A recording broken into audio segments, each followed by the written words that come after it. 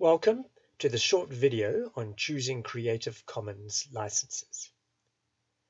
This video will run through the process of choosing an open license for a new resource using the Creative Commons license generator. Have you seen those Creative Commons license plates that appear at the bottom of OpenCourseware pages? Um, as an example, here is MIT's OpenCourseware page and if we scroll down to the bottom, uh, you'll see in the bottom right hand corner the Creative Commons license plate. In this case, by NCSA, Attribution Non-Commercial Share Alike. We're going to work out how to make these little number plates. Firstly, we need to go to the Creative Commons site and uh, the URL is creativecommons.org and once the page has appeared, we're going to look across the top menu for licenses. And in this case, um, it's the second item. The drop-down box that appears has uh, a number of options, but the one we are particularly interested is choose a license. Click on there. Once the license page appears, Access the first panel entitled License Features and consider the first of two questions. Question 1 asks, Allow adaptations of your work to be shared? In other words, can the user take and change or adapt your work so that it better suits a different context? Can they translate it, tweak the language, add images, etc.? There are in fact three potential answers: yes, no, and yes as long as others share alike. This last option means that the derivative work, the new version of your resource, must carry the same license. The second question, allow commercial uses of your work, means that you don't mind if the user sells either your original resource or the new version based on your work. Select either yes or no. The panel on the right, entitled Selected License, immediately reflects the consequences of your decisions by assigning the appropriate icons that make up the license. Feel free to adjust your choices until you're satisfied.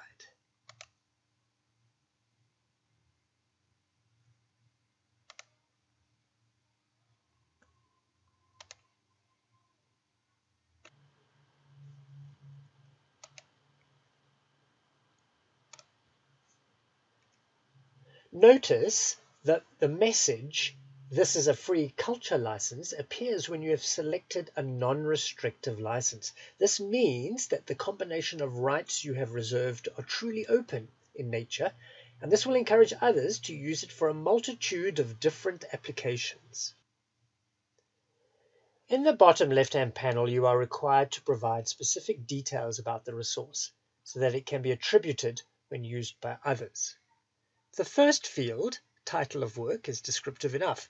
Provide your resource with a name or a title. In the second field, insert the author, creator, or institutional name that needs to be attributed. The third field, attribute work to URL, provides you with an opportunity to insert the web address of where that resource will reside. Should you have used an OER and adapted it in this new derivative, then you can insert the URL of the original source material in the fourth field. The field entitled Format of Work allows you to identify what format the resource is. Is it audio, video, image, text, a dataset, or perhaps it's interactive.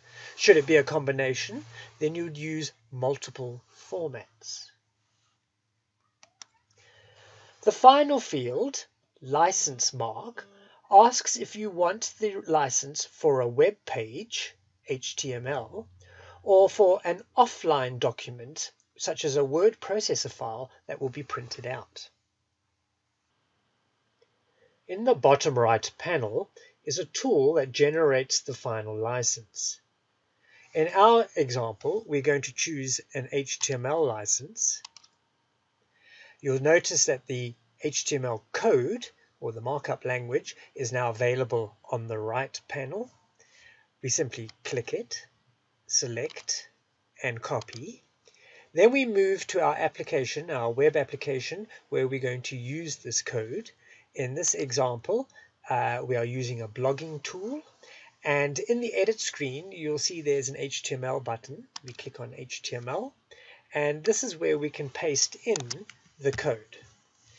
Uh, when we have a look at it now, we should see that there is a particular uh, license available uh, in the blog. And when we push the update button, then we can actually see what it looks like on the final product. Now you too can have a professional looking Creative Commons license for your open education resource.